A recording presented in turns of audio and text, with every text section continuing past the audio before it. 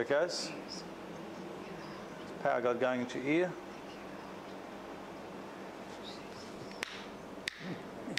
How's that? It's nice and clear. Nice and clear. It's crisp. Crisp. Mm. That's Lord healing your, your, your right ear now. That's power God going through your right ear. Lord says, put my hands on your head. And everyone say loose. Loose! Yeah. There it is. so it's not even like shout for a long How's that?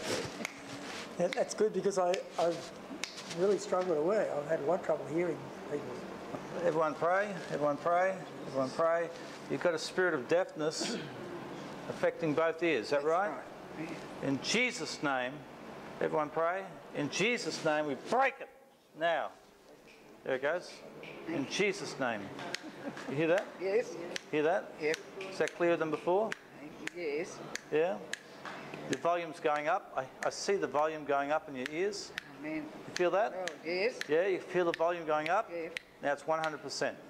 In Jesus' name. Thank you, Lord.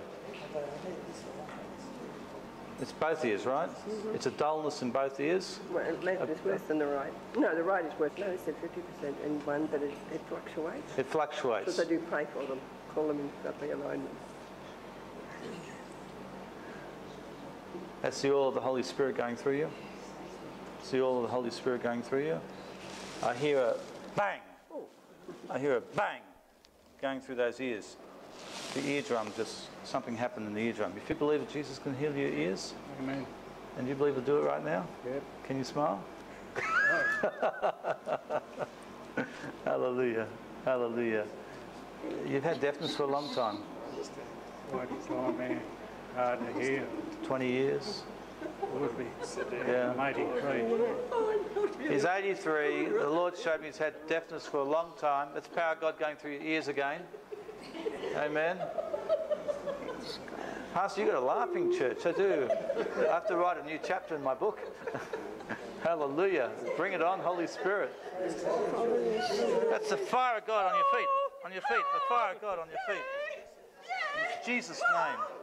In the name of Jesus Christ. In Jesus' name, open. Thank you, Lord. Thank you. There it is. That's power of God going through your ears right now. You feel that? That's power of God going through your ears. Thank you. How's that? Yeah, great. It's great now. Someone say praise the Lord. Yeah. How are you going? No, it's not quite done yet, is it? No. No, she said, no, it's not quite done yet. Just reach out your hands, everyone. Pray. There it is. It's power of God going into your ears. In Jesus, everyone say in Jesus' name.